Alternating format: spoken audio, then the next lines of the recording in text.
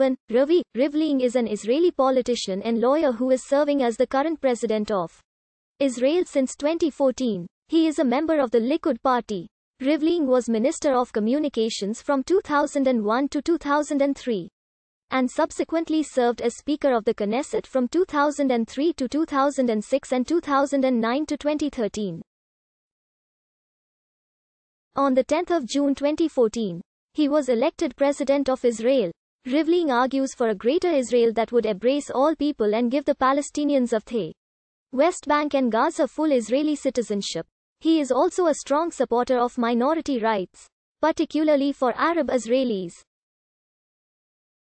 He supports the one-state solution to the Israeli-Palestinian conflict. Rivlin is fluent in Arabic. Reuven Rivlin was born in Jerusalem during the Mandate era to the Rivlin family, which has lived in Jerusalem since 1809. He is a descendant of students of the Vilna Gaon. His parents were Rachel, Ray, Rivlin and Yosef Yoel Rivlin.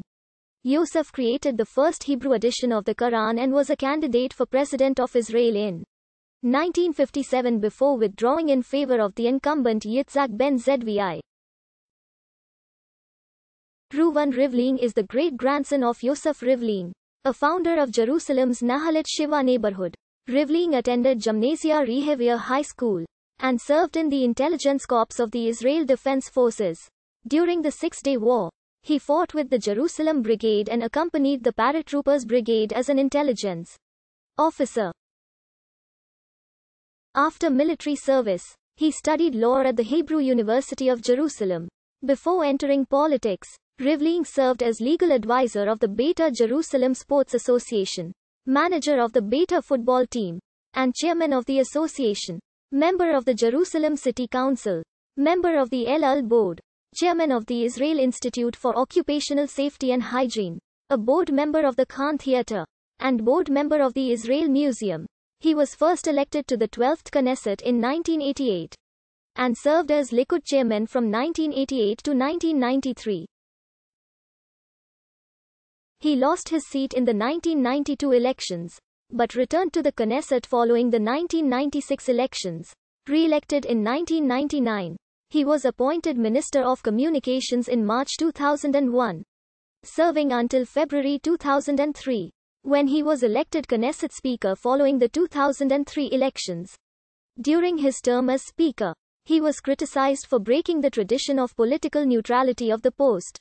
He was one of Ariel Sharon's harshest critics regarding the disengagement plan and had a public confrontation with Aharon Barak, Chief Justice of the Supreme Court, concerning the court's authority to declare legislation illegal.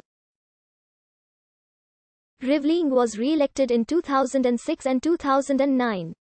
He ran in the 2007 election for president as the Likud candidate.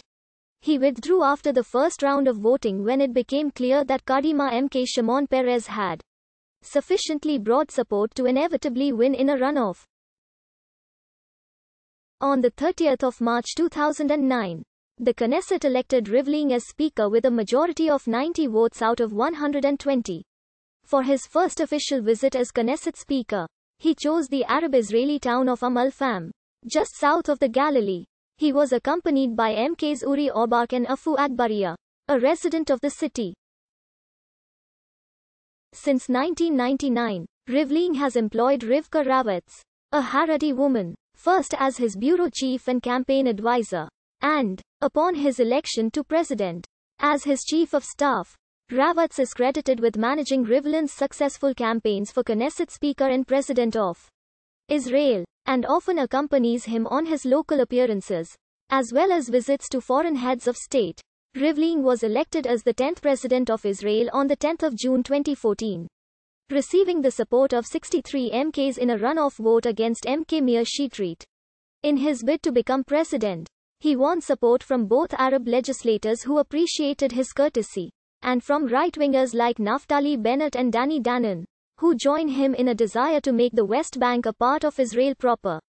Rivlin was sworn in on the 24th of July 2014, succeeding Shimon Peres. Upon his election as president, he immediately ceased being a member of the Israeli parliament.